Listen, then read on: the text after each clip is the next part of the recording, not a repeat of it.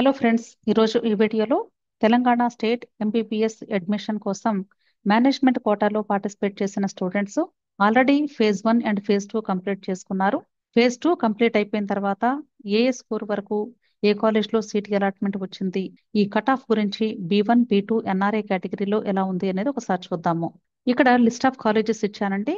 అంటే complete name ఇవ్వలేదు. అంటే స్పేస్ కొంచెం సరిపోదు కాబట్టి కాకపోతే మీ అందరికీ నేమ్స్ తెలుసు కాబట్టి ఈజీగానే అర్థమవుతుంది అనుకుంటున్నాను. సో ఫస్ట్ వన్ వచ్చేసి అపోలో మెడికల్ కాలేజీ.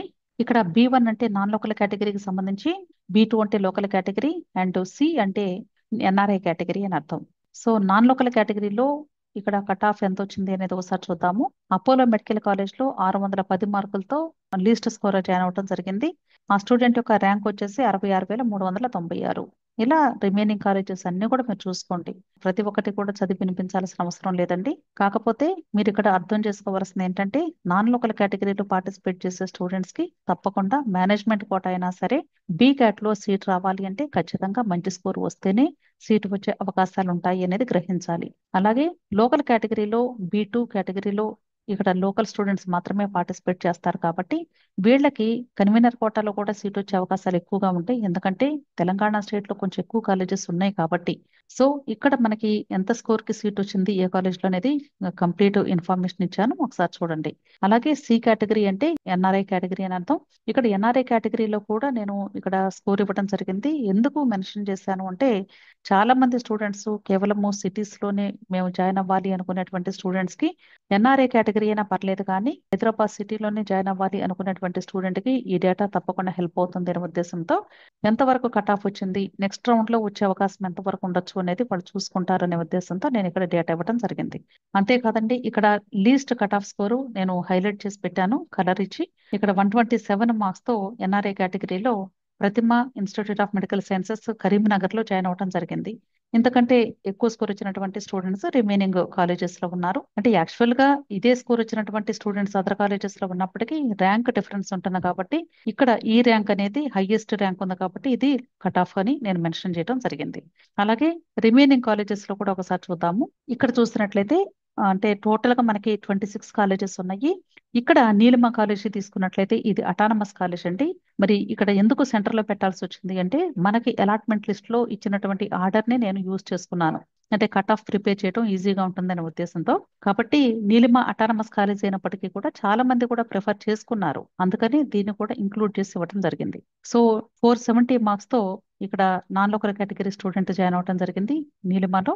అలాగే లోకల్ స్టూడెంట్ వచ్చేసి త్రీ థర్టీ సెవెన్తో లిస్ట్ స్కోర్ జాయిన్ అవ్వడం జరిగింది. అలాగే ఎన్ఆర్ఏ కేటగిరీ తీసుకున్నట్లయితే వన్ థర్టీ టూ స్కోర్తో నిలిమలో జాయిన్ అయ్యారు. అలాగే ఫాదర్ కొలంబో తీసుకున్నట్లయితే అన్రిజర్వ్డ్ కేటగిరీ అంటే non local candidates five forty two least scorer అండి అలాగే బి లో కూడా ఫాదర్ కొలంబోలోనే త్రీ థర్టీ సెవెన్ మార్క్స్తో లీస్ట్ స్కోరర్ జాయిన్ అవ్వడం జరిగింది. అలాగే ఇక్కడ ముస్లిం మైనారిటీ కాలేజెస్ తీసుకున్నట్లయితే డాక్టర్ బిఆర్కే ఉమెన్స్ కాలేజ్లో ఫైవ్ ట్వంటీ ఫైవ్ మార్క్స్తో లీస్ట్ స్కోరర్ నాన్ లోకల్ కేటగిరీలో జాయిన్ అయ్యారు. అలాగే త్రీ థర్టీ ఎయిట్ స్కోర్తో ఆయాన్ కాలేజీ ముస్లిం మైనారిటీ కాలేజ్లో జాయిన్ అవ్వడం జరిగింది. అలాగే వన్ థర్టీ ఫోర్ ఎన్ఆర్ఏ కేటగిరీలో ఆయాన్ కాలేజ్లో జాయిన్ అయ్యారు. ఎందుకు ఇక్కడ ముస్లిం మైనారిటీని కూడా నేను మెన్షన్ చేశాను అంటే ఇక్కడ కేవలము ముస్లిం మైనారిటీ క్యాండిడేట్స్కి మాత్రమే అవకాశం ఉంటుంది కాబట్టి వాళ్ళు వాళ్ళ యొక్క స్కోర్ని కంపేర్ చేసుకుని నెక్స్ట్ రౌండ్లో వచ్చే అవకాశాలు ఎంతవరకు అనేది ట్రై చేసుకుంటారనే ఉద్దేశంతో ఇది కూడా హైలైట్ చేశాను.